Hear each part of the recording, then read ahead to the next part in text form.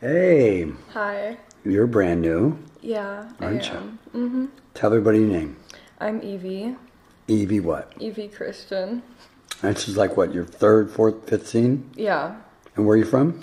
I'm from Wisconsin. Yeah. So you're pretty new, huh? Mm-hmm. So, um, the word is that you're pretty sexual. Yeah, I'm a whore. Why do you say that? Because I am. I Okay, like dick. I'm needy. Specifically. I'm really needy. I really just need dick. If I don't get it, sometimes I just get really mad. Just get cranky. Mm-hmm. Yeah.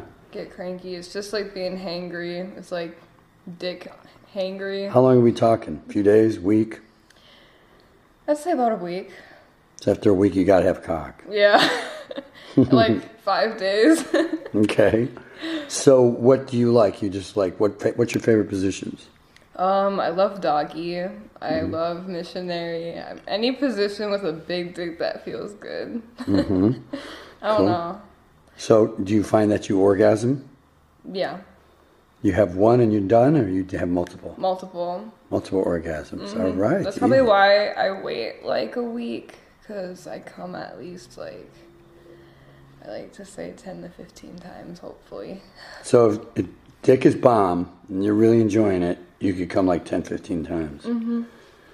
Okay. Well, this movie's uh, called Her Rumpus is Scrumptious. Can we see your rumpus? Tamat, ending yang sangat membagongkan.